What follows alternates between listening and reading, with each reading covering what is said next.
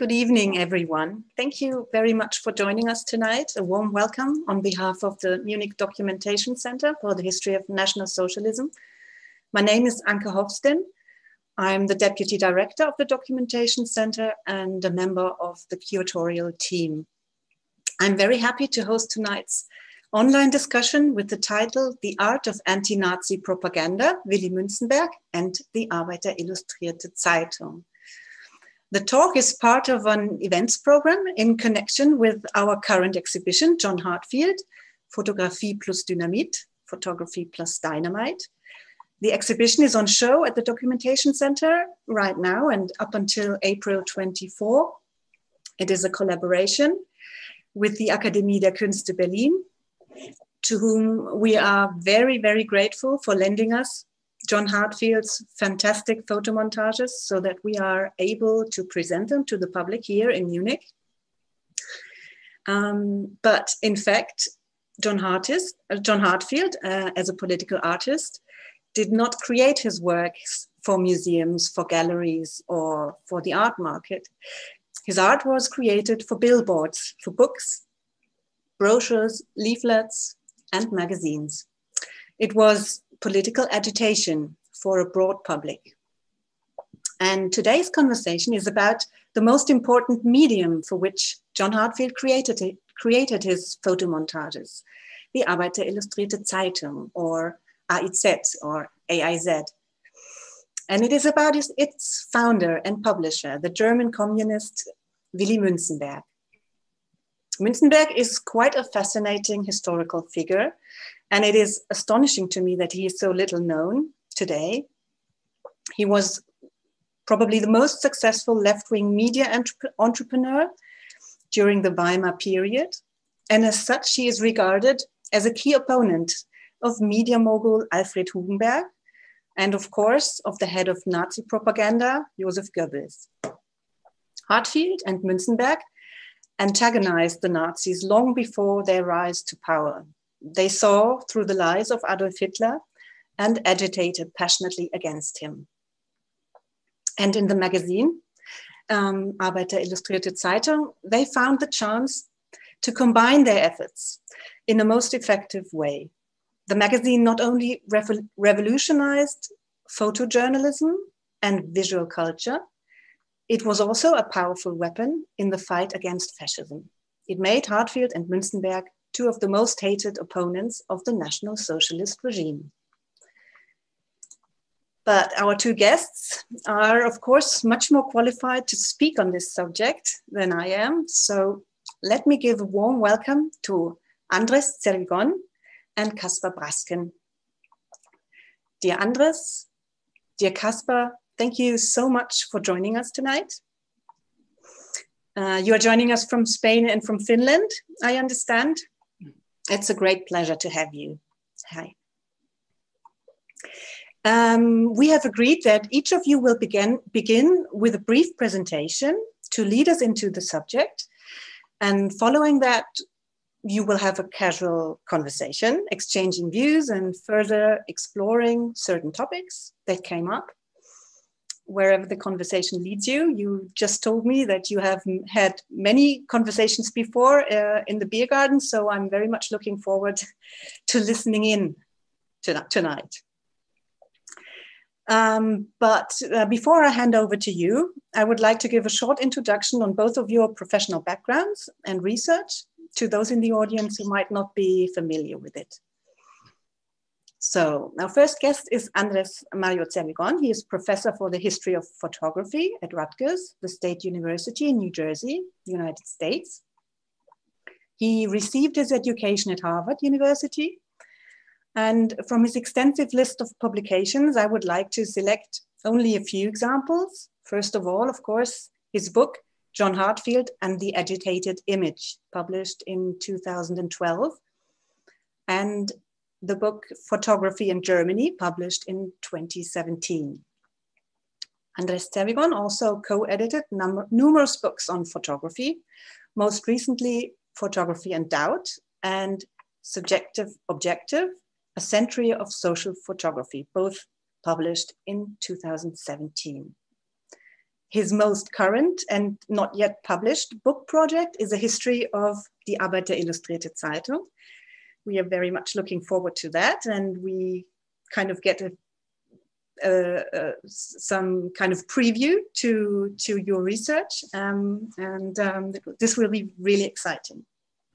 Um, but apart from research, teaching, and publishing, Andres Zervigon also leads the Developing Room, an academic working group at Rutgers devoted to photo photography studies. I'm also pleased to introduce historian Kasper Braskén.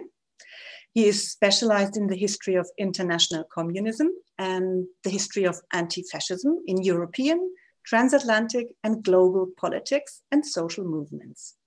Braskén has been visiting researcher at the Freie Universität Berlin, at the Royal Holloway University of London, and at the Zentrum für zeithistorische Forschung in Potsdam.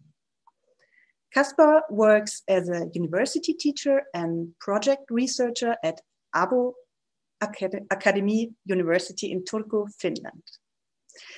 He is editorial board member of the international journal 20th Century Communism and since December 2020, the book reviews editor of the journal. In 2015, he published his thesis with the title The International Workers' Relief, Communism and Transnational, Transnational Solidarity, Willi Münzenberg in Weimar, Germany. Dear Andres, dear Kasper, uh, I'm very much convinced that you both, as experts, complement each other ideally in terms of your knowledge and research for tonight's subject. Before I hand over to you, one last note to our viewers. Um, you have the possibility to ask questions uh, to our guests um, via chat, YouTube chat, or via email, and we will be happy to take them in, take them in at the end of the discussion. Okay, for now, uh, I'm leaving the screen. Um, I'm very much looking forward to your conversation and speak to you again later.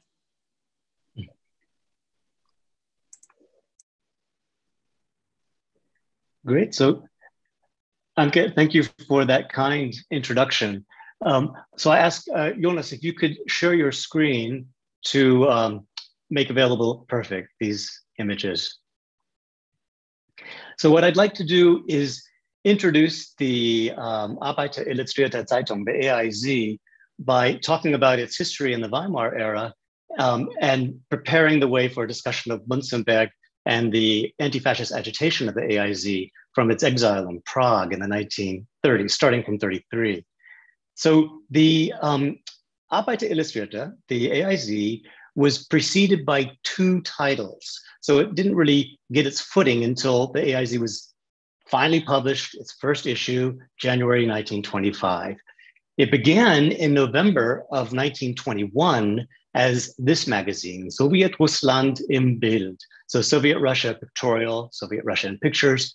And it was meant to be a magazine focusing on the work of the International Workers' Relief which was trying to basically commissioned out of the Soviet Union to try to relieve a famine in the Volga region. And so the magazine covered the relief activities of the International Workers' Relief based in Berlin, its work in the Volga region, and it also used this platform to promote the new Soviet country, regime, and way of life. So it had these two tasks. Um, if you could forward, Jonas. And those tasks were somewhat in conflict with each other, but they nonetheless determined the content of this magazine that preceded the AIZ. On the left, you see footage, photographic, photographs from the very beginning are always the most important part of the content of this magazine. On the left of starving Russians in the Volga region, the idea being that once you see these people starving, you'll be more inclined to contribute to the workers' aid, the workers' relief, um, and help improve the conditions of these people. But then on the right, you see a different page. These are not facing pages of the new celebrations of the Soviet Union. Uh, at the time, it was called Soviet Ru Russia. And so these are people marching on the street showing their support for the government in various constituencies women, um, or volunteers to uh, the army. This is all represented in photographs, and it's pretty straightforwardly propaganda for the new Soviet regime. And then, of course, as I say, paired with these atrocity images of starving Russians in the Volga region. So that is what happened for the first year. And then Jonas, the next. Then uh, that was followed by another title called Sichel, Sichel und Hammer, so Sickle and Hammer, which referenced the new flag of the Soviet Union. And that change was because the focus of the International Workers' Relief, its own focus had changed away from the relief of the Volga famine, which was ultimately relieved with international help all around, and more toward both German and other international problems in left politics. Like this issue is covering a worker, a dockers strike in Liverpool. This is 1924. So all this was photographically chronicled. It was basically, if you can imagine, a illustrated magazine, but from the point of view of the radical left. And the idea was that it would show you these things that the radical left saw that the press wasn't showing you. It had eyes that could see that no one else in the press could see or allow you to see. So Jonas, the next. Now, along the way, something began to happen.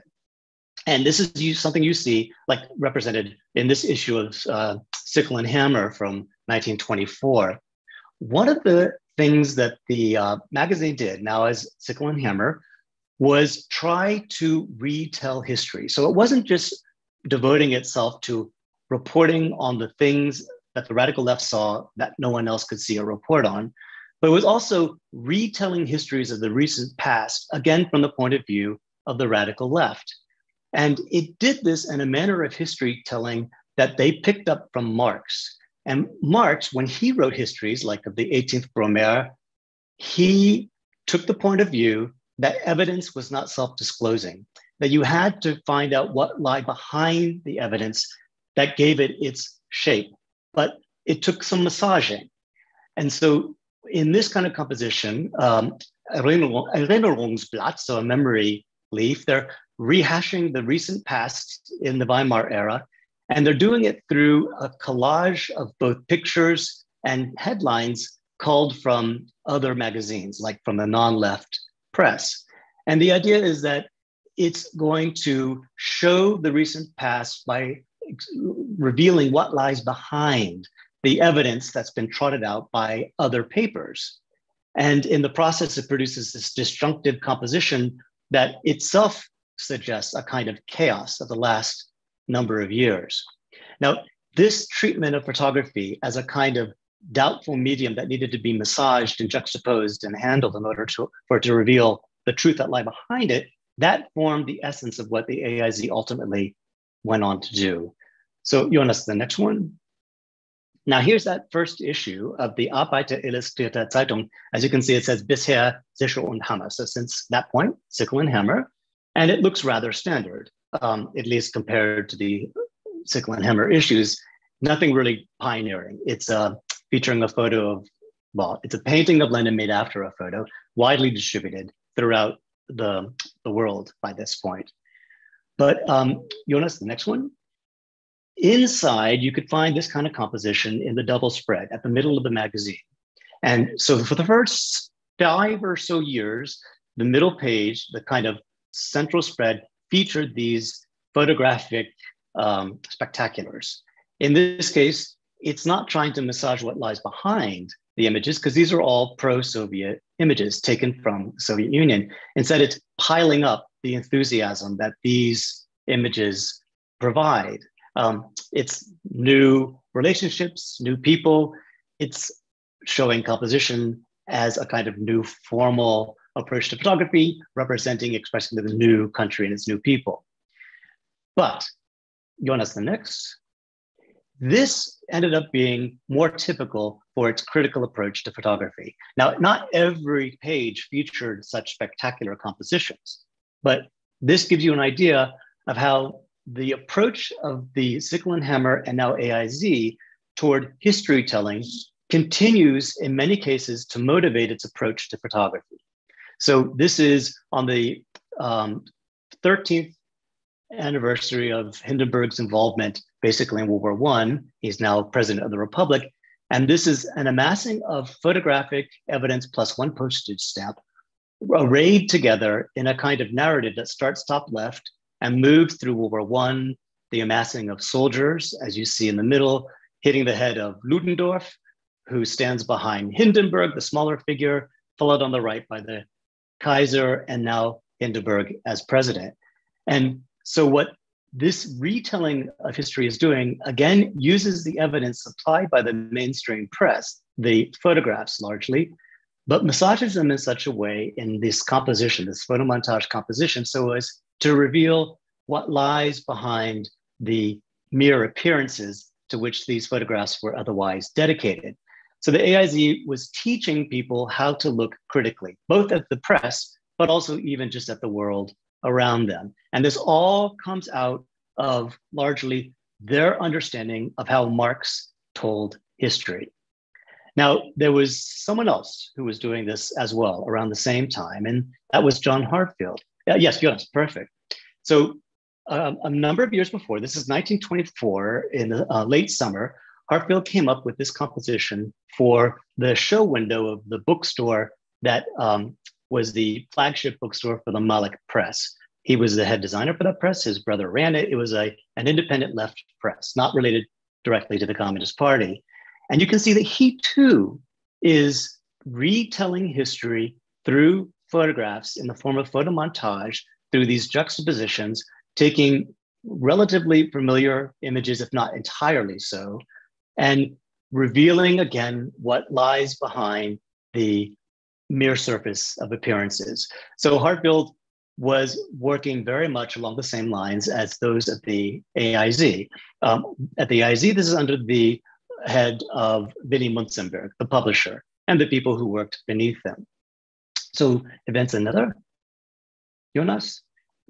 And so you can see there's a real unintended dialogue. Now, Heartfield doesn't start working for the press that publishes the AIZ, the New German Press, until 1927, uh, when he begins contributing to a magazine called The New Russia. And that puts him in the orbit of Münzenberg. And before long, one thing leads to another, and Münzenberg picks him up in 1930 as a contributor. So, Jonas, one more. And this is the first contribution of Heartfield to the Arbeiter Illustrierte Zeitung. It's not exactly a montage. Uh, if you want to know more about this, Sabine Kriebel has written beautifully at length about this composition, which is more or less a mannequin covered in the pages of social democratic papers. But again, the idea is the press will tell you one thing, but the AIZ will teach you what lies behind those mere appearances. Otherwise, you will be blinded, as this figure is by, in this case, the pages of the social democratic press. From this point forward, Heartfield contributes regularly to the AIZ until its closure, pretty much until its closure, with a, a one year hiatus, more or less, when he spends um, about nine months, it could be 12, in the Soviet Union in 1931. So the AIZ becomes the platform for extraordinarily potent anti Nazi photomontage when these two figures come together Willi Münzenberg and John Heartfield. And so what I provided is the history of that platform, the Arbeiter Illustrierte, and again, its approach to history through photography, historical narration that made possible these montage compositions, otherwise associated with the artistic avant garde. So um, let me hand it off to Kasper to bring it forward from this point.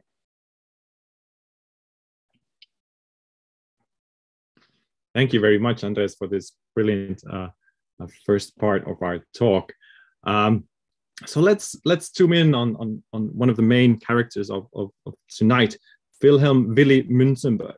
So I'll give you a kind of brief uh, biographical sketch of, of his life and his, his, his, different engagement for international communism and for this international solidarity movement uh, that, that, that he organized. Um, so Münzenberg was born in uh, 1889 in the small uh, town of Erfurt in, in central Germany. Now, when we remember him today, he's either kind of remember uh, this, this uh, impeccable organizer of this red media empire uh, in Weimar, Germany. Uh, and through this work, he's kind of remembered as the more one of the most articulate kind of defenders of both international communism and, and the international left and the Soviet Union. But the kind of the twist of the story is, of course, that at the end of the 30s, uh, he's the one calling out publicly Stalin as Stalin as, as the traitor. So, kind of to emphasize his important position uh, during this time period is that he's he's both characterized as kind of the, the red version of, of, of the conservative German media tycoon Alfred Hugenberg, or as the main counter organizer to, to Goebbels and his propaganda uh, work, as Anke already mentioned. So, kind of looking back at the political kind of trajectory of, of Münzenberg, his political engagement began in, in 1906. Uh, Babette Gross tells really beautifully about, about uh, Münzenberg's uh, uh, kind of political awakening in the political biography that, that she wrote about Münzenberg. Babette, Babette was uh, Münzenberg's uh, kind of life partner throughout this period. And he he uh, Münzenberg was from 1906 onwards really dedicated to the Marxist workers movement, and especially uh, these internationalist projects, right? So this would include the anti-war movements, the anti-imperialist movements, and uh, finally the anti-fascist and anti-Nazi uh, uh, movements as well. So it was during this time period of, of, of the 1910s that he really became a central figure within the international uh, youth movement. So in 1910, he moved over to Switzerland, to Zurich, uh, and he lived there until 1918. And it was during this crucial time period, of course, that uh, uh, the, the Bolshevik exiles were also residing in, in, in Switzerland.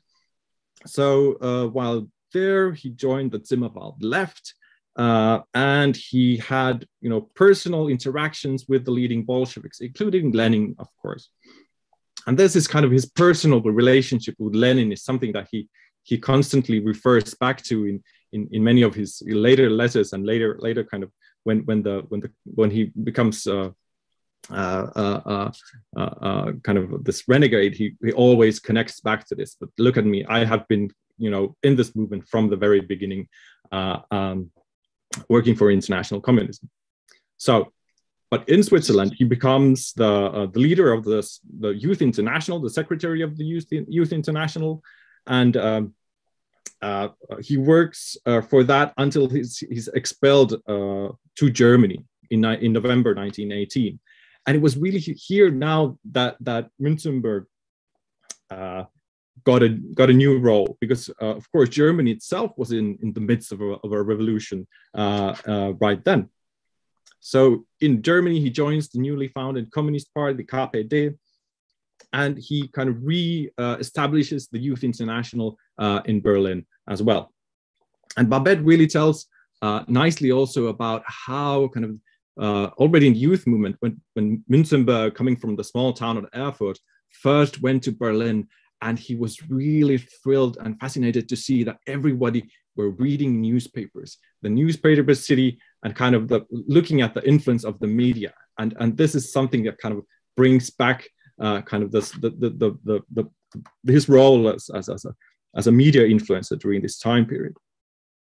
But one of the kind of a central kind of uh, breaking points in Münzenberg's political career was in 1921. Uh, Andreas already mentioned uh, the famine in, in, Soviet Russia. So Münzenberg was uh, not re-elected as the secretary of the Youth International. It was previously based in Berlin, but it was relocated to Moscow, and Münzenberg was basically without, without a job within the movement. So uh, Lenin then, according at least to the legend, Lenin personally asked him to head this famine relief initiative in the West. And Münzenberg established uh, uh, the, uh, the International Workers' Famine Relief, and it was truly, really through this initiative that that became kind of the, the starting points of, of, of this red media empire. Because as Andres beautifully showed, kind of the first idea was to get uh, an illustrated magazine to show, uh, uh, on the one hand, show images of what was going on in Russia, but also to try to raise funds for that for that cause. And during the 20s, this famine relief initiative really developed beautifully into this, this permanent solidarity organization. Uh, um, and which re really gave Münzenberg a kind of independent position within within the communist movement. That he he kind of he got his mandates directly from Moscow in many ways. So and he could kind of he had this interesting interplay between between on the one hand uh, the KPD leadership in, in in Berlin and and the Moscow leadership. So so he he he had this talent to to kind of to play the right strings and and and, and get his will through uh, through these different channels. But during the 20s, he really was engaged uh, in a in a in a kind of multitude of different activities going in different directions. Uh, there was this Hands of China campaign in 1925, uh, which really led to the establishment of, of, the League Against Imperialism. There was this huge congress in Brussels in February 1927. Um, uh, he was engaged for the celebrations of the 10th anniversary of the Russian October Revolution. So he got the mandate from the Comintern to organize these all kind of and, and plan these celebrations and and and uh, kind of jubilee um, uh, arrangement around uh, not only in Germany but the Western world so he made up the plan, and of course he used the IZ for these purposes. So there's a, some beautiful uh, kind of special issues around the celebrations as well. So um, all these kind of different campaigns and solidarity initiatives, initiatives found their kind of visual expression in the IZ uh, as well, and its predecessors. So that's this is kind of the really important kind of uh, role between uh, and relation between the Internationale Arbeiterhilfe on the one hand and and, and the IZ as a, as a visual product uh, on the other. And one could say that during these years, Münzenberg really got a, a, a spectacular uh, lineup in, of international contacts. On the one hand, he had special relationships uh, to Moscow, of course, to the leading Bolsheviks. Uh, but on the other hand, he formed some crucial connections to uh, left intellectuals, to artists, to uh, authors, uh, kind of other prominent sympathizers of, of, of Soviet Russia and the Soviet Union. And kind of what the culmination point of that work was the Amsterdam Anti-War Congress in, in 1932. And we could switch now to the next slide. I just as a, as a new background. Um, uh, so during these years, of course, Münzenberg controlled uh, not only the IZ, of course, but it was the whole kind of media empire that included several journals, uh, illustrated magazines. He had a workers' book club, uh, film companies, of course, um, and also the Arbeiterhilfe was was being organized into sort of a mass movement. They were throwing kind of more making these local organizations and trying to kind of follow build up this mass mass, mass movement around around the organization. And of course the major uh, publishing house that they uh, founded was the neue deutsche verlag which andreas also mentioned. And this is really when you look at the kind of uh, the historical scholarship there's lots of written about the malik verlag but not so much on the neue deutsche verlag which is really fascinating uh, how this this kind of uh, discrepancy has has, has evolved uh, but of course, uh, he was also involved in the import of Soviet films from uh, from uh, from the early 20s as well. Uh, for example, Battleship Potemkin was imported to, to Germany in 1926 and by the by the Arbeiterhilfe.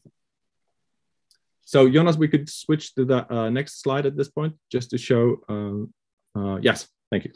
So I think it's important to remember kind of international the, the, the, the, role of international communists during during this time period.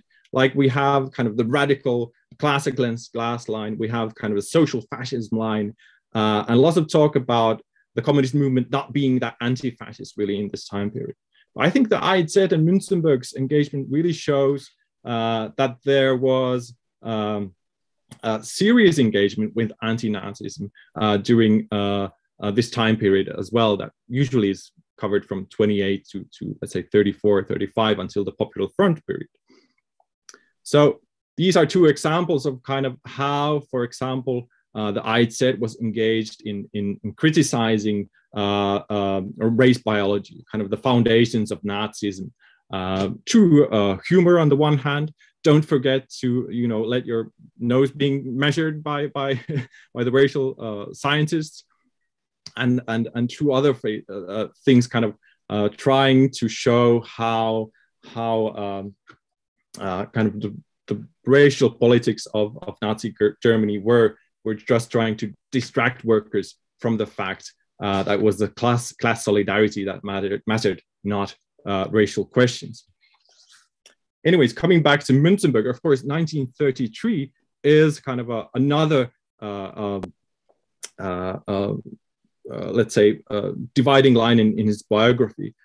he's moved to exile. He's, he reorganizes the Arbeiterhilfe from Paris. Uh, the AIZ moves to Prague, right? Uh, and kind of telling for Münzenberg's central role as an uh, anti-Nazi character is that when uh, the Third Reich starts to publish this list of uh, kind of domestic enemies that are deprived of their German citizenship uh, from August 33 onwards, Münzenberg is on this very first list with 33 names. So with with uh, Ernst Toller, Kurt Tucholsky, Heinrich Mann, and Lion Feuchtwanger, for example and really from from Paris, he starts organizing the the, the major campaign around the Reichstag uh, fire uh, trial, uh, the Brown Book campaign. Uh, he forms the World Relief Committee against uh, German fascism. He's uh, very much engaged in the World Committee Against War and Fascism, two kind of central communist initiatives, and really continues this this anti-Nazi work uh, through through this time period and really engaged, kind of help the German uh, German workers uh, to to form this anti-Nazi resistance, right? And he's a crucial character also in the formation of of the German Volksfront uh, initiative in the mid 30s. Uh, but then towards the end, of course, there was a rift. There was a rift between him uh, and, and and the Stalinist USSR. So Stalin privately accuses him of being a Trotskyist. Um, and after 1936, Münzenberg doesn't dare come back to, to Moscow, although he's invited several times, uh, but he fears that if he would return, he would he would be arrested and, and maybe executed, or, or says on the on the show trap. So as a kind of last effort there, Münzenberg forms this uh, new weekly called Die Zukunft uh, that brings back kind of the last attempt to form an anti-Hitler coalition and it, and it is in this journal that he calls out Stalin that the traitor is you. And in 1940, one year later, uh, he's interned by French authorities and then dies under uh, still unclear circumstances. Uh, right. And Bernhard Bayerlein is currently writing uh, a big monograph about the Zukunft, so we look forward uh, to that as well. But that kind of wraps up Münzenberg's uh, role, and there's many threads we could return to during during uh, our talk. And I'll I'll maybe show some more uh, images later later in the uh, in discussions as well of of of um, of how how the AIZ is is is, is trying to articulate its anti-Nazi message during this time period. So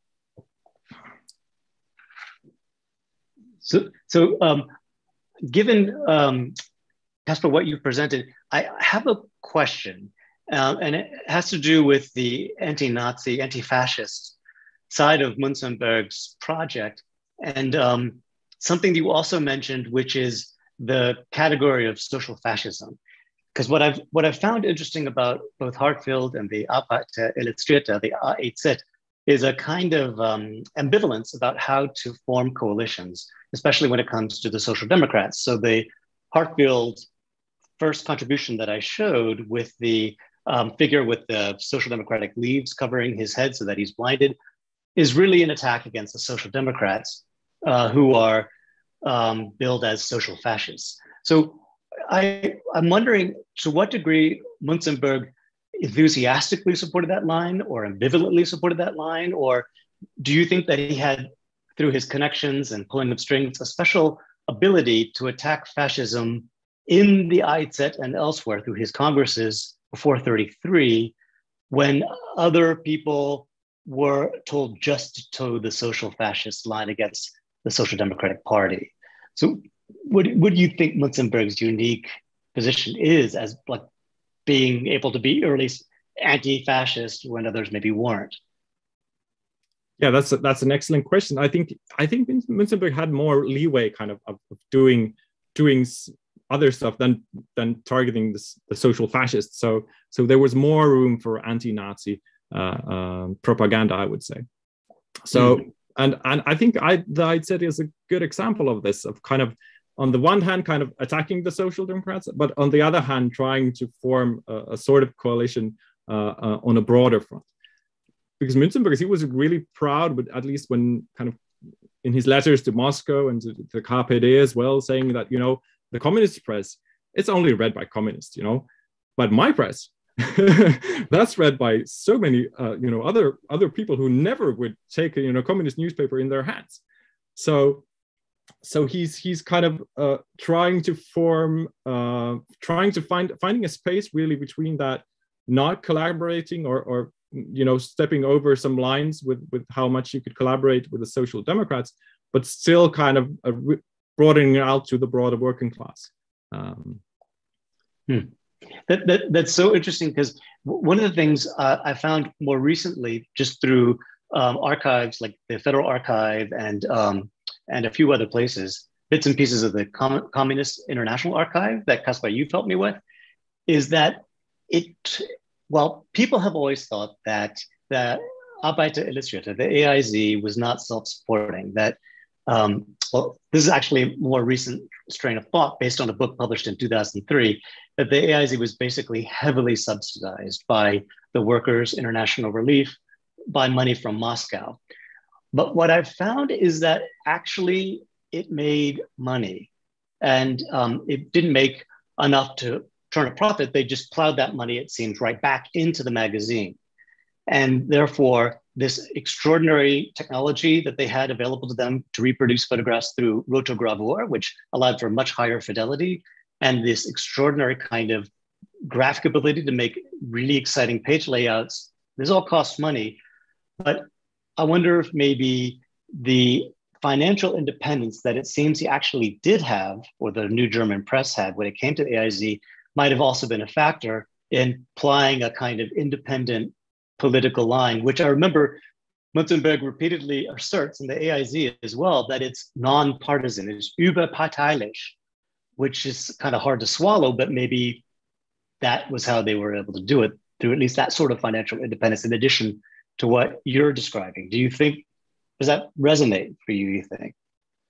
Uh, well, let's start with the überparteilich. Uh, I think that's a, that's a, uh, yeah, it's a brilliant word um, in German. Uh, because there is kind of this idea of, of, of, being broader than than only only for for for the communists but then on the other hand it, it's it, it doesn't mean exactly that you would maybe collaborate with other parties so much uh, it's it's more like um, going beyond the communist maybe maybe in, in, in that way. Because anyone reading that said you know sees that you know it's it's heavily pro-soviet. It's it's uh, you know it's it's it's not disguised in any way like there's this you know um, this Cold War scholarship going back, like saying, "Oh, this is uh, you know uh, kind of some, some, kind of hidden fronts for for for uh, for the Communist International." You just need to flip the pages and see that you know this is you know very very pro-communist and, and so forth.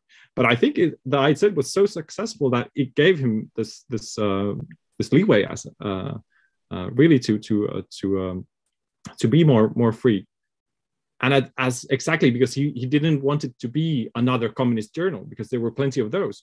So he could also kind of argue why why it needed to have a kind of different different uh, uh, look. Hmm. it's extraordinary that that independence. And um so uh, another thing that occurs to me um and and there's like I'll ask just this one more question before we start other parts of the discussion but he's in Paris. The AIZ is publishing out of Prague he's facing all kinds of other challenges in a French exile. How attentive really was he personally to the AIZ out when it when it was coming out of Prague? Or was the editorial board really independent of him by that time and doing its own thing? so that's a really tough question in many ways because Münzenberg is, you know, he's he, as you know, he's, he's the kind of background organizer uh, in many ways. And then how much, how you know, engaged is he in the actual kind of editing, you know, work or or on that? But in in the lessons I've found, he he many times kind of comments on on you know, was this a good issue or was it a bad, you know, kind of giving giving feedback on on on, on how well it went. Uh, I think but uh, I think you could tell us more about you know he was really concerned about you know the print quality and you know uh, how good how good the standard it was the, the publication and and so forth. I, I, mean that's really fascinating. It kind of shows his engagement with with the magazine.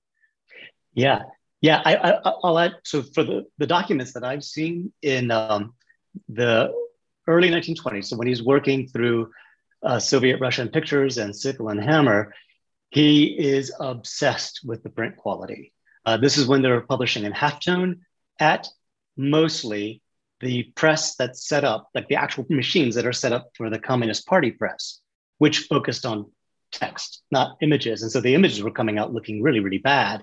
And he writes these ragingly angry messages, uh, postcards, and short letters to the Politburo of the German Communist Party addressing like leaders of the Politburo in really harsh terms, saying that they're basically trying to sabotage his, his publication projects by making the quality so low. So from the very beginning, yes, he's really uh, super concerned personally, directly with the print quality, leading uh, in October of 1925 to the switch to rotogravure. And I need to emphasize that's expensive it was one of the very few magazines publishing in this expensive uh, and beautiful technology.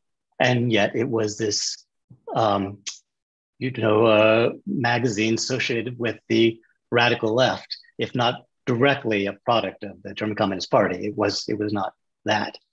Um, so I want to emphasize, yes, at least in those moments, he was very directly involved. And he's, uh, here's another thing, Kasper, I always find such a kind of entertaining thing he's constantly plugging the circulation numbers forever. It's always in his, like, like you're saying, he, he's like, you know, this is something that's actually read by people.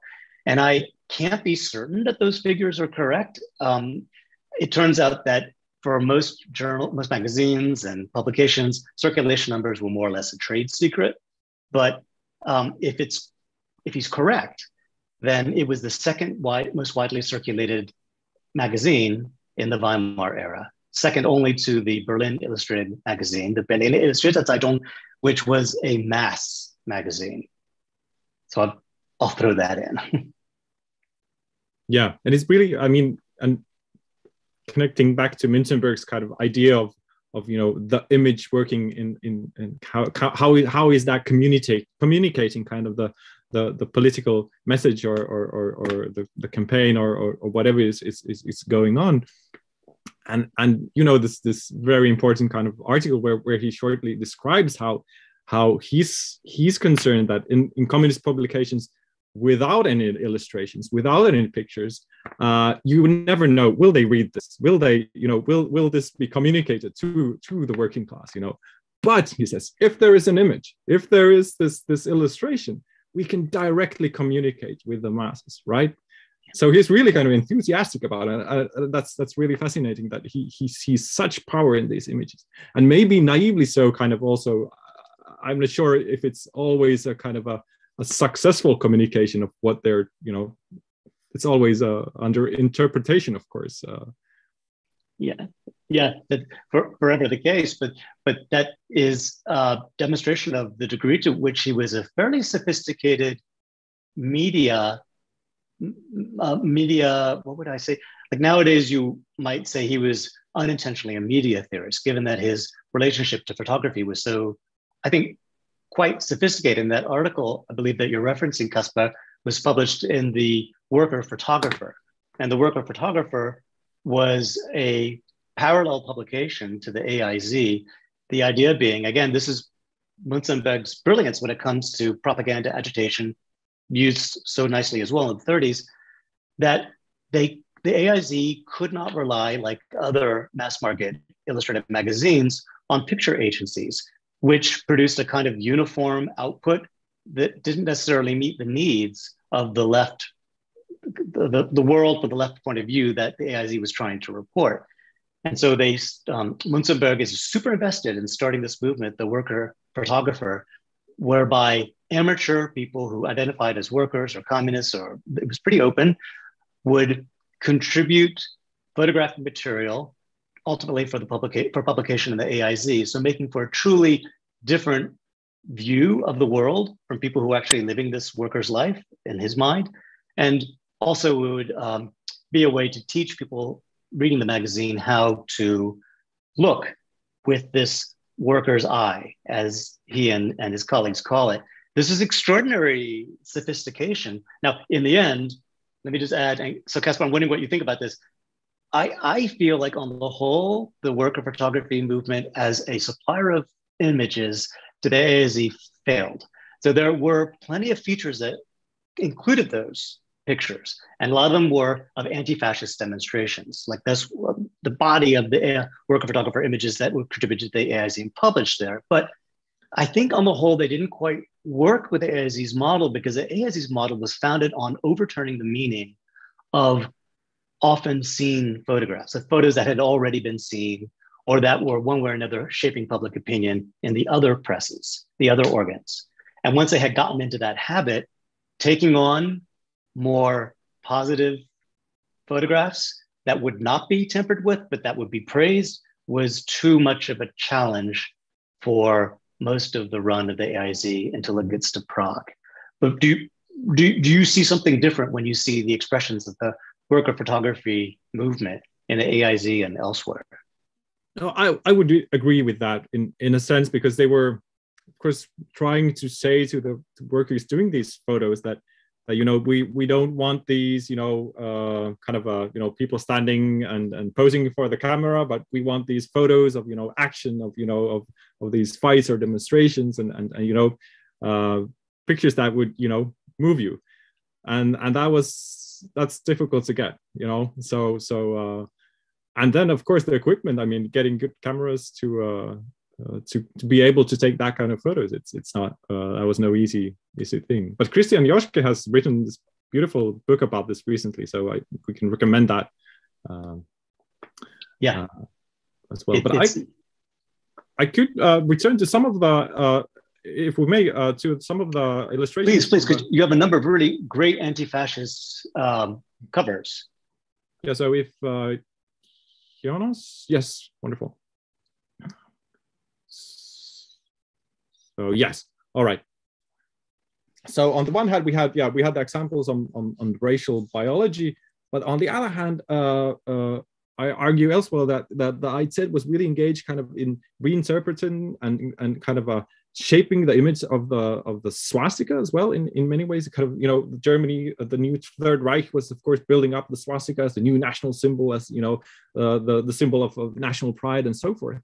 And this was a really kind of easy target for uh, for Heartfield as well to kind of use visually uh, in, in in different ways how to kind of, kind of either smash the swastika or show that you know it's actually you know capitalism disguised, uh, trying to kind of uh, uh, like in in this one uh, this this sign uh, is is is going to you know betray you and and and you know sell you to the to the capitalists. So kind of trying to argue that uh, trying i would say especially trying to reach outside to the working class those working class radicals who may be kind of you know leaning either towards nazi influences or or or or, or towards other solutions to kind of will to at least neutralize those who might be interested of nazis and trying to show what what what is you know the, the truth about nazis. Again kind of telling the truth about the nazis which they themselves of course uh, uh, uh, would keep hidden, keep the, their masks on.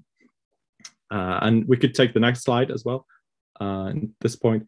And this is kind of, again, uh, showing kind of uh, one of the anti-Nazi solutions is, of course, different kind of illustrations of international solidarity, of these, these actions of, of unity, of, you know, pulling down the Nazi flag, flag um, uh, trying to boycott the Nazi flag, for example, and and really, uh, uh, you know, um, putting blood on blood on the on, on the swastika and showing that you know this is this is what what Nazis and the Third Reich will uh, really lead to, and this is something I see constantly in in these anti-Nazi uh, propaganda uh, images, is that uh, uh, kind of this constant effort to try to show to tell the truth about what Nazism really is uh, which is really striking, I think, uh, looking at it, at it uh, uh from today uh, in many ways. Yeah, um, the the echoes are rather uncanny. But you, do, do you have another set?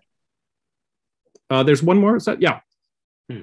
And of course, I think the AIZ and Heartfield were really kind of, you know, they were they were um, giving this different face to uh, to Nazi leaders as well, like like Goering uh, and kind of shaping the public image of the Reichstag uh, fire trial, for example, uh, throughout. Not maybe so much in Germany because the spread of the AIZ in in Nazi Germany uh, must have been limited. I think so. Uh, I think this is a shift also for the anti-Nazi work is that it's it's you know directed to the to the exile to the to the kind of German communities around around Germany and not trying yeah they were sometimes successful in smuggling in issues i think. Uh, i think you've mentioned sometimes about about these different efforts to get it get the AIZ into to the readers in germany as well. But this was uh, you know an uphill battle uh, uh during these years. So but still uh, these kind of um, illustrations again portraying the swastika uh, with you know the dead worker or you know trying to to illustrate again what are the consequences of, of Nazism. And trying to kind of uh, piece by piece uh, you know kind of deconstructing uh, the, the the myths of, of Nazism really through these kind of visual means as well. So again kind of uh, repeating that what we said earlier that it's not only about about the written text and the written uh, kind of anti-fascist messages, but about these uh, kind of visual visualizations of, of this uh, anti-Nazi message. Yes, and I, I, am thinking of something about uh, approach to this, in addition to what you've said. Let me just note, the uh, AIZ claimed that it tried to smuggle in miniaturized versions of the issues into Germany. Um, this seems to have met with little success, and they even claimed they airdropped issues into the country, but um, this is all rather suspect. As you say, it was clearly intended for German speakers around Germany and in exile uh, further away.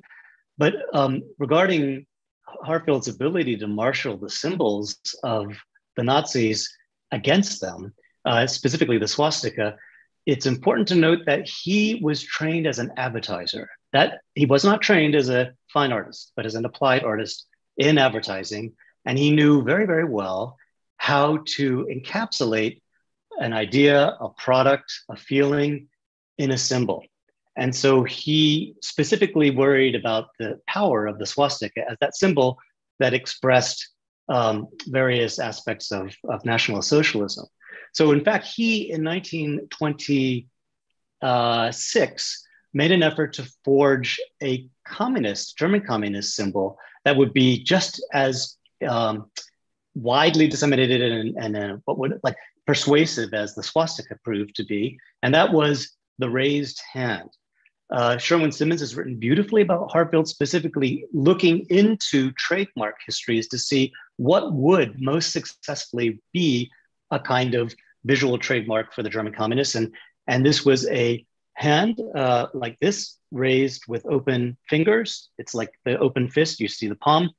And it was a photograph of a worker's hand uh, selected from, uh, as it was reported, hundreds, to be that symbol of German communism. And the idea was it was an expression of worker, in this case, super masculine force and power and, and resistance, as well as referencing the working hand to begin with. So Heartfield's ability to dismantle, he hoped, the propaganda of the fascists was not just in overturning their photographic symbols like forever the face of, Hit- of Hitler. You see again and again repeated in the anti Nazi covers and inside sheets in the AIZ, but also their symbols and specifically the swastika. Again, I emphasize because he himself was trained as an advertiser and knew its power, but also how to dismantle it and contest it, at least he hoped. That's the result of what, what got out of these montages. Um, so I, I know we're, we're fo focusing on this um, problem of uh, anti-Nazi uh, propaganda because this is the uh, National Socialist Document Documentation Center.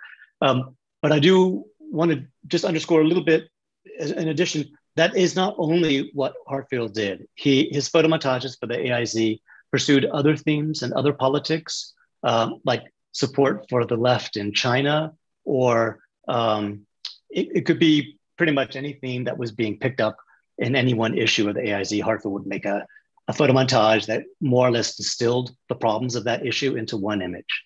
Uh, and increasingly, it became anti fascism and of course anti it wasn't only about anti-nazism it was you know during the 30s uh, mm. it was about you know the fight against international fascism so you know was it in austria or you know spain or or wherever uh, it was you know international struggle so it's i think this is really and heartfield has some some beautiful illustrations of this as well kind of the the, the fight towards against international fascism and not only yeah. specifically kind of nazism uh, uh yeah, that's really important to underscore. One of his most famous uh, photomontages, originally for the German Communist Press, was called The Face of Fascism. And it was a montage of Mussolini's face with a skull, like merging the two. And it was quite a menacing image. And it featured also uh, images of other fascist leaders um, from here in Spain and, and elsewhere. Um, so, yes, he was an international anti fascist, like Münzenberg. So they really were beautifully aligned. Yeah, yeah. I guess the only difference is is kind of due to Münzenberg's being, you know, the traitor and renegade. He was, you know, of course, in in the East German scholarship and so forth. Uh, you know, he w- he was not remembered. He was not, you know, uh, brought back really until you know after the fall of of, of, of communism. So yeah. that really and kind of emphasizes why why he hasn't been that much uh, researched or or written about uh, uh, during during uh, you know the previous years. It's, it's you know the archives were of course closed. they were either in Berlin or Moscow, and they were and the subject of Münzenberg or the Arbeiterhilfe were not really that you know um, interesting. Uh, to to look at these activities of, of you know this this this traitor. So so this is kind of important to to keep in mind as well. Why why we need to return to Münzenberg and uh, Eizet and and Heartfield uh, uh, now again. Yeah, because of these otherwise lost histories, especially at a moment when they seem, as Harper would say, actual vini, I think, like more re- more relevant, more topical than ever before. The, and let me, before we hit the hour, let me just mention one more thing. Uh, Münzenberg's fate could have been Heartfield's too, because when he got back to what then was the German Democratic Republic, this was in 19 October 1950, I believe, is when he returned he was he remained in exile in London because when it was um, Soviet occupied uh, Eastern Germany, the authorities wouldn't let him back in. He was seen as a, a renegade, an avant-garde artist. He couldn't be controlled. So when he got back, they immediately started preparing him for a show trial. And the protocol from the interviews with the Kaderschaft, with the people in charge of like emphasizing or you know discipline, um, are really horrifying because they're clearly trying to hook him to people like Noel Field and others who were associated with, like, like Münzenberg, um, the traitors against international communism. And um, he was more or less saved by people like Bertolt Brecht, but he, he had his first heart attack in that period. Um, it was clearly a great deal of stress. And, and had he been subjected to a show trial or simply disappeared, he might have been partly forgotten, like uh, Münzenberg. So there is another uncomfortable parallel between the two of them. Yeah, that's a that's a great point as well. Uh, oh. And I think uh, maybe I think we have we have out of time. Uh, uh, yeah. According to to Anke, we could have yes, uh, maybe some questions or or. Uh... Yeah, thank you very much for um, bringing me back in. Thank you so much for yeah, this really fascinating insight into your research. And I understand that we really touch many, many, many subjects, and it's really a very wide field um, um, that the AIZ is leading us onto if we look a bit closer. And um, I think it's really, really important to explore the historic context in which Heartfield's works um, were developed, uh, were published to be able to really judge and fully appreciate their impact and their importance, um, not just then, but also today. And as you the, the, the few examples, because there were more than 300, I think, photo montages Heartfield, Heartfield created for the AIZ. About 260, 260. for the yeah. Yeah. Um, so just those few examples showed how um, certain strong images and symbols have um, uh, are being used up, in, up until today, like the smash, uh, um, smashed swastika, for example, yeah, which is still a symbol, a symbol, symbol of Antifa, and also the raised fist, yeah, um, that we have seen. Mm. What I would like to maybe explore a little bit more is the question of the actual readership um, of the Arbeiter Illustrierte Zeitung. Of course, we've learned it was addressing workers, yeah, um, but um, I think because it's quite, Heartfield's montages are on a quite high intellectual level to be understand. Of course, they are strong, uh, they have a strong visual power, yeah, um, but um, I think it's my opinion that we can also see in the AIZ the aim to address maybe the middle class uh, the, the bourgeoisie to, to, um, to sort of convince them that maybe the Soviet Union is not as dangerous as they are being told by other media, um, the mainstream media during the Weimar Republic. So let me ask you, what do we know about the actual readership? Um, what are your thoughts on, on, on that? Um, I, I, can note uh, in 1926, in the summer of 1926, Münzenberg um, helped write a report on the sales of the AIZ. This is in the uh, Federal Archive in Berlin. And in it, he worries that not enough workers are buying it, at least as far as they can tell, that it's instead more or less urban, lower middle class and middle class uh, people who are the readership. Um, it seems like later he works with that to his advantage, but at that time, he uh, when he's being pretty honest about who's reading it, he's not initially like so happy about it. But Kasper, what what is what is it that you've seen among the readership or potential readership? Yeah, that's a really good question. Uh, um, what they usually uh, we of course we have the print numbers and there's lots of discussion about how you know if they're correct or not but he he was you know talking about you know maybe half a million per issue towards the 30s early 30s um, uh, and then of course emphasizing you know it's not only read by one people you, one person it's you know you know you pass it along and uh, so you, you should multiply that by several uh, kind of uh, so it's a kind of huge huge uh, huge uh, uh, amount of people who would read it. But then if it's working class class if it's middle class it's really difficult to say.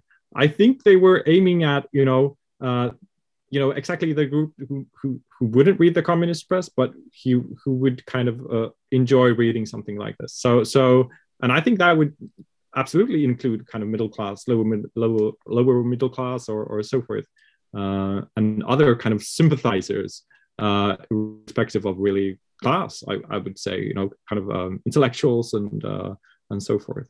So and so yeah yeah. I think you, I think that makes total sense, Kasper. Let me just add that it would also possibly include people who were simply attracted to the visual book of the magazine because it was unlike anything else being published on the mass market at that time. And just as an example of how this could be a broader appeal, uh, one of Heartfield's compositions, which was, um, I don't think we saw it, it was uh, Adolf der Übermensch schluckt Gold und redet Blech, like Adolf, the yeah. Superman swallows, yeah, swallows den uh, swallows gold spots Um, that was so compelling for Count Harry Kessler that he financed the reproduction of that image so that it could be put on um, columns, advertising columns around the country. So there's just like that readership of the AIZ, but then there's these other facets of what would ultimately be a kind of an extended readership that one can consider as well.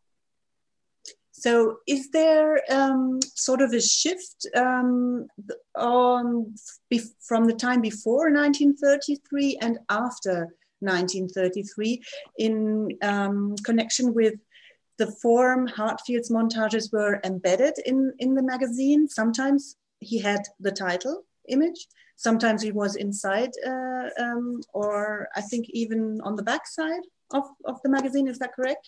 So. Can you uh, tell us if you can maybe um, find a shift in the frequency um, that the Heartfield montages were integrated, or maybe the, even the tone and the subjects uh, the montages were were um, addressing? Well, the, the up until the um, until March of '33, there's no real good continuity. Uh, it could be the cover, it could be interiors. Uh, I don't think he started doing the backs until he was in Prague. But um, what I find remarkable is that it's really difficult to find a pattern until he gets to Prague. And so the, the best person to ask about the Prague period and if there are patterns would be Sabine Kriebel, who was here uh, at the last, because she has taken a better account of what kind of patterns one finds, in especially his approach to humor from his perch in Prague. There, I believe she can talk about some continuities and themes and placement. But until that point, it's rather um, predictable. Uh, my sense is that they designed each issue on the fly. They had one week and they did it as quickly as possible at a really cut rate price because everything, all the money was going to the Rotogravure presses and with a really reduced staff. Uh, so that yeah, that's how I would answer that. Yeah, and it was a rea- sometimes a reaction to current political events. So they really had to make something up to. to well, to that and pl- Sabine Kriebel has also pointed out that sometimes it, re- it, was a reaction to something that actually did not happen. It was an invented story. Mm-hmm. Uh, but these are some of his best montages. So it, it I'm talking about in the 30s from Prague. And another thing that I um, I, I learned about is that the AIZ sort of um, got into conversation with their readers, with its readers. They tried to activate them, to integrate them, to, to have them participate. Um, could you maybe elaborate on that? Because I think this is quite a fascinating aspect, um, which sort of is, yeah, uh, we, we, we can see this in today's memes, yeah, that montages are a medium which is um, easily to learn. Um, of course, heartfield's montages were quite an art form, yeah, um, the way he produced them. And you said uh, that he was obsessed with quality as well. Um, but at the same time, working with photography and combining photographs is something that everybody can do with little means as well. Well, but it, so wait, Kasper, I want you to talk about some of these things too. But let me just emphasize, in the in Berlin, like in Germany before '33, uh, because of a, a, kind of sense among German communism, or at least the Communist Party upper uh, hierarchy, uh, that photo montage was really uh, an avant-garde affair and something that should not be done by communists um, it's it's like Heartfield got a pass, but no one else was allowed to do it. And in the work of photography magazine, a work of photographer, people who were being taught how to make photographs suitable for the designation work of photograph were also advised don't make photomontage, you'll be a dilettante until the very end. In the last year, uh, in, in 32, suddenly then they were advised, okay, you can do this. You can make photomontages. It's sort of participation in dismantling mainstream visual culture or fascist visual culture.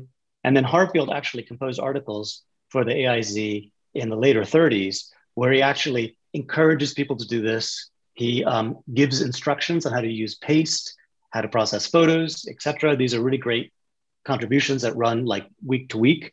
And um, and he was coming from the point of view ultimately of this guy Sergei Tretyakov, with whom he spent nearly a year in Russia, who actually wanted this to be the case for photomontage, that anyone would be able to do it and contributed to the dismantling of popular visual culture or building up a new one.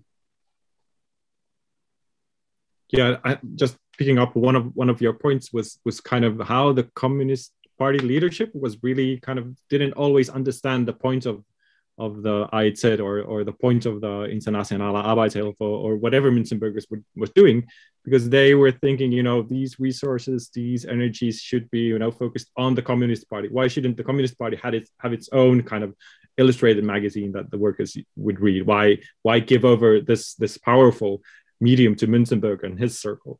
So there was always a constant, constant struggle also. And really, the communist hardliners not understanding what was the point with this uh, with this magazine, which is striking, of course, today. Uh, like this was one of the most powerful, you know, magazines uh, for the workers' movement during this time period.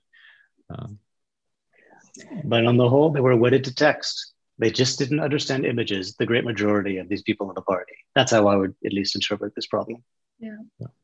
And after all, you've mentioned it um, with other words, but it was a populist medium. Yeah, the AIZ had a populist uh, approach to delivering their message, um, and I find it um, I found it very good, um, Andres, um, how you kind of addressed the fact that um, Heartfield on the one hand and Münzenberg, of course, as well, um, were fighters for the truth. Yeah, they didn't want to. They wanted to, ex, you know, to expose the lies of, of the uh, Nazi party or capitalists, but at the same time they were kind of um, using the means of propaganda as well, and they did it really elaborately.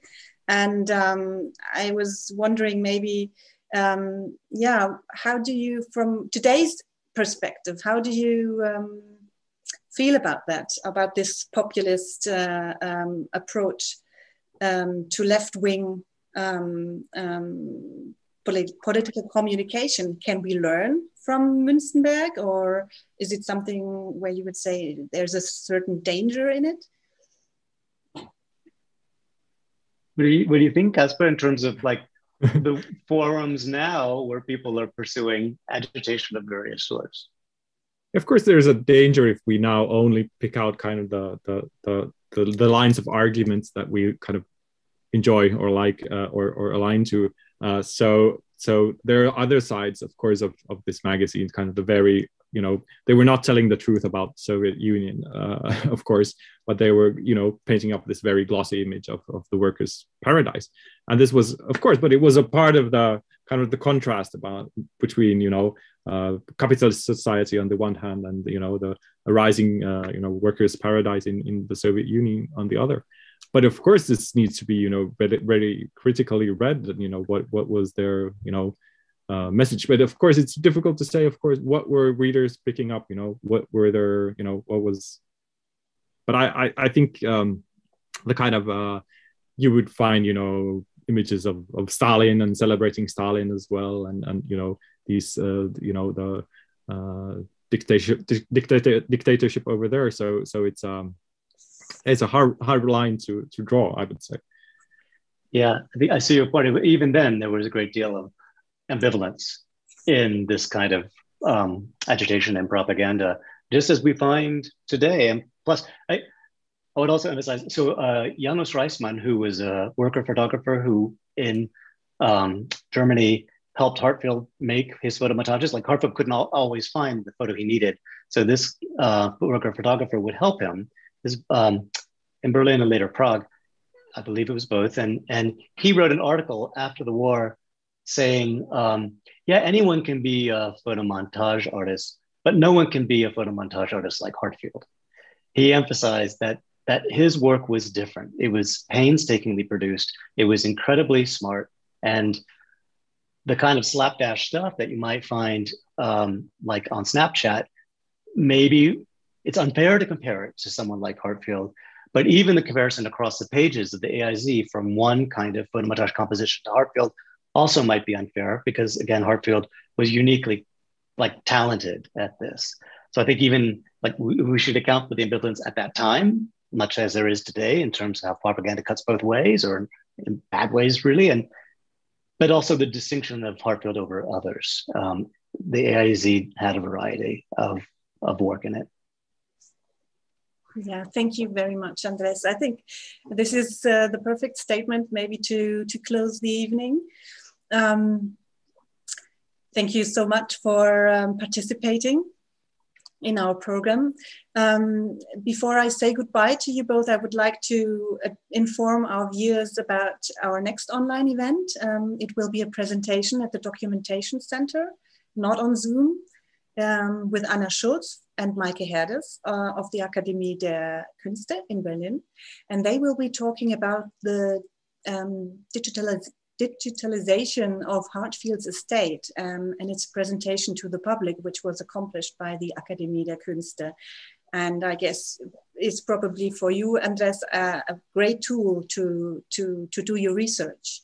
Fundamental. Uh, yeah, so, and they will be talking about um, um, their work and give insight into into this very challenging project and um, and present this. And it will be interesting for um, specialists working in the museum field, um, in education, in online services, and so on. For details, um, please check out our website. also, for details on the following events the exhibition um, will be on show and up until April 24. So if you haven't seen it yet, um, we invite you to, to visit us. Um, we are open every, every day except Monday, and the entrance is free. So thanks everyone for watching, and especially um, thank you, Kasper and Andres, for joining us tonight. Um, it's been a great pleasure to have you. Thank you. Thanks so much for, for a great talk. Yeah, it was fun.